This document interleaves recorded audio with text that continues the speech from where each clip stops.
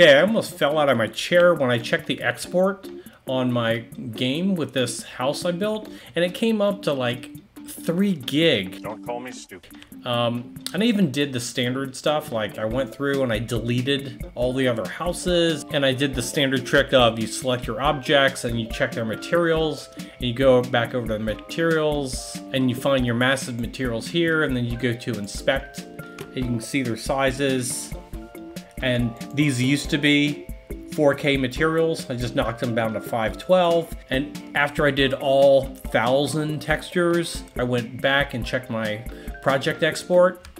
And the project, once I did a build and run, it still came out to 1.8 gig.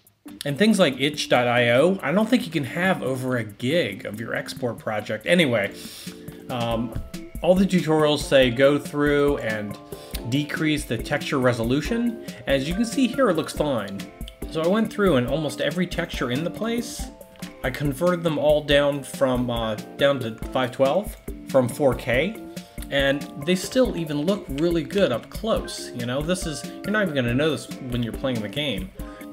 So no matter what I did, I could not get it below 1.8 gig. It was it was killing me.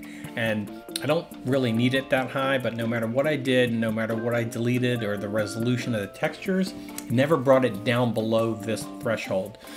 And then I just bumped into the setting. Um, I just found it accidentally, but if you go to build, build settings, and then you change your overrides, this will actually inspect every texture that is getting compressed into the game files and manually make sure it's never doesn't go over a certain threshold.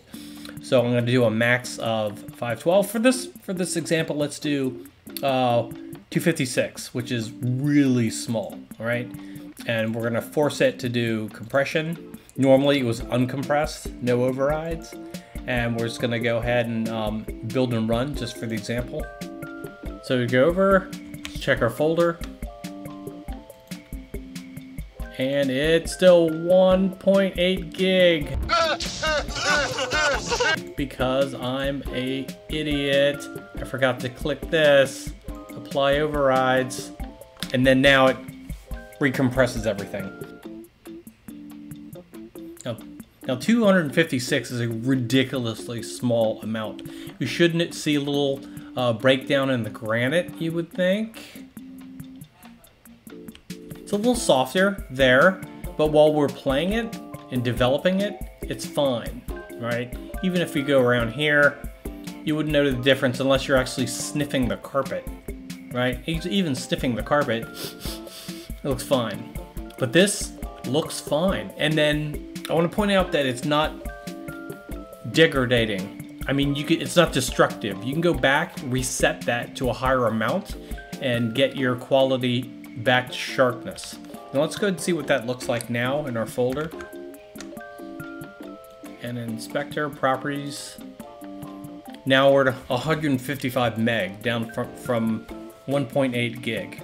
Okay, and just for kicks, let's go halfway. I'm gonna go and delete those files and set it back to 512. Something not quite 4K, which is 2048. We'll just go to 5K, a quarter of it, and apply. And looks, see the walls and everything still look the same. The granite was our only reference point, and some of that sharpness should have come back, and it did. And overall, if you didn't tell anybody, that's what the granite looks like.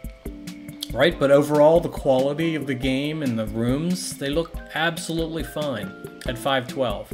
And let's go ahead and check that file size of our folder. And we're at 265 meg.